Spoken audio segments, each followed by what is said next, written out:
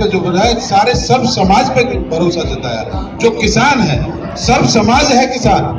ऐसा नहीं है कि एक समाज का कोई किसान है, सर्व समाज एक किसान के बेटे पे तुम्हारी वजह से मुझ पर विश्वास जमा है।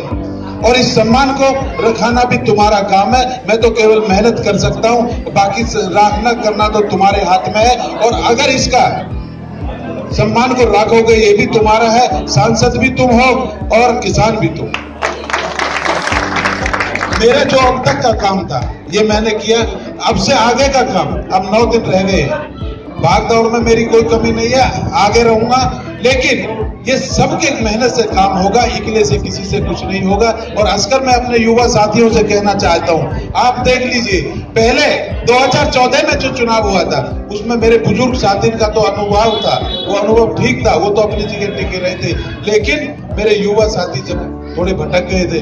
लेकिन आज मुझे लग रहा है, जब मैं जा रहा हूँ, गाँव में जाता हूँ तो मुझे लगता है कि मेरे युवा साथी का भी प्रेम बढ़िया मुझे मिल रहा है। बहुत ही अच्छी तादाद में युवा साथ रहते हैं। रात को 11-11 बजे तक, रात को 11-11 बजे तक मीटिंग कर रहे हैं और इसी तरीका से बहुत ही लाड और प्यार मुझे मिल रहा है। और यही नहीं, मैं अभी माननीय अध्यक्ष जी के साथ अपने यादव समाज में गया था। वहाँ इतना ज़बरदस्त प्रोग्राम हुए, इतनी ज़बरदस्त वहाँ मीटिंग हुई थी। कि कह रहे थे लोग बात अब ये हम 30 साल तक की तो हमें याद है 30 साल तक तो ऐसा याद यादव एक बार छोड़ा नहीं।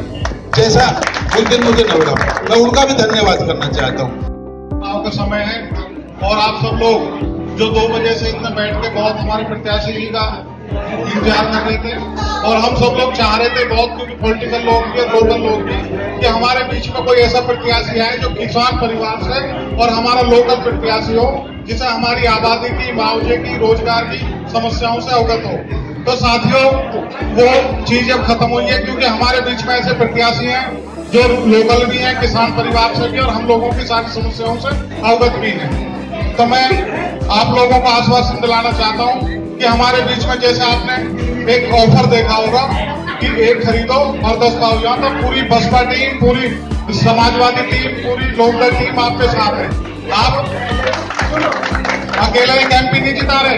हमारे बगल वाले गाँव में अपने विधायक जी हैं चेयरमैन साहब हैं। अकेले एक एमपी न दे के आप दस दस नेता और साथ में लेकर आ रहे हो। वो हमेशा आप सबके सुख दुख में खड़े रहे हैं और हमेशा हमारे साथ खड़े रहेंगे। तो मैं अपने गाँव वालों से एक बार पूछ के और भरपूर आश्वासन देना चाहता हूँ कि क्या मैं आश्वासन दे दूँ? बाबा मुस्ताक और सब लोग हमारे ब्राह्मण समाज से, गुजर समाज से, मैं अपने प्रत्याशी जी को अपने पूरे गाँव की तरफ़ से आश्वासन देना चाहता हूँ। हम इतनी बड़ी वोट बगैर खर्चा के, बगैर गाड़ी के, ना कोई खर्चा लेंगे, ना कोई गाड़ी लेंगे और सहयोग राशि भी देंगे।